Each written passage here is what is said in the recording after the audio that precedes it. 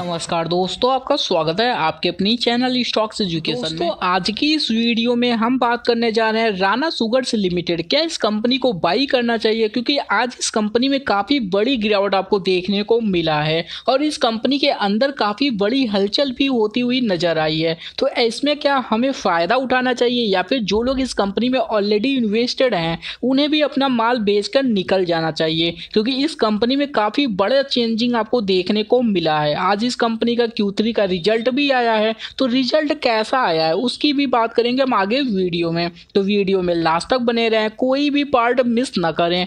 और जिन लोगों ने अभी तक चैनल को सब्सक्राइब नहीं किया है, वो लोग सबसे पहले चैनल को सब्सक्राइब कर लें और साथ में वेल आइकन को प्रेस करना ना भूलें। दोस्तों, अगर इस कंपनी के फिफ्टी टू हाई की बात करें तो आप देखेंगे अड़तीस रुपए तीस पैसे, जो कि तेरह जुलाई 2021 को इस कंपनी ने बनाया था। कंपनी के फिफ्टी टू लो की बात करें तो छह रुपए साठ पैसे, जो कि एक मार्च 2021 को इस कंपनी ने बनाया था और आज यह कंपनी क्लोज हुआ है, आप देखेंगे, तीस रुपये दस पैसे पे, जबकि आज यह कंपनी ओपन हुआ था पैंतीस रुपये बीस पैसे के पास में।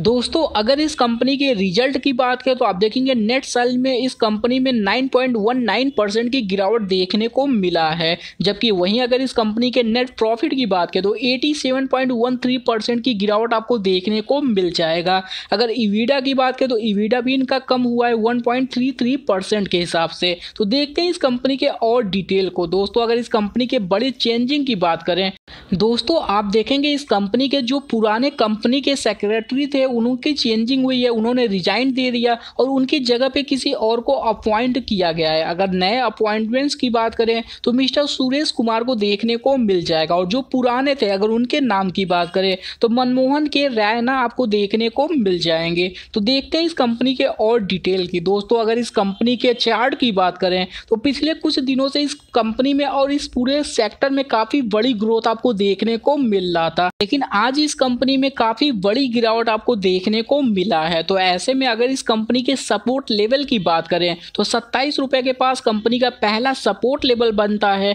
अगर यह कंपनी यहाँ पर संभलता है तो ठीक है, जहाँ तक उम्मीद है कि उम्मीद काफ़ी कम है। लेकिन अगर यह कंपनी इसके नेक्स्ट सपोर्ट लेवल की बात करें तो बाईस रुपए के पास का सपोर्ट लेवल आपको देखने को मिल जाएगा। तो जो लोग बाई करना चाहते हैं, वो चाहे तो इस कंपनी को बाईस रुपए के पास बाई करके चल सकते हैं। जो लोग ऑलरेडी इन्वेस्टेड हैं, वो चाहे तो अपना स्टॉप लॉस लगाएँ पच्चीस रुपये पे। जिन लोगों ने शॉर्ट टर्म के लिए एंटर किया है और आगे के लिए कंटिन्यू करें। लॉन्ग टर्म वाले कंटिन्यू कर सकते हैं इस कंपनी को लॉन्ग टर्म के लिए। अगर यह कंपनी आपको नीचे प्राइस पे मिलता है तो आप चाहें तो एवरेज भी करके चल सकते हैं। तो चलिए दोस्तों, आज के लिए इतना ही। वीडियो को लाइक करें शेयर करें सब्सक्राइब करें।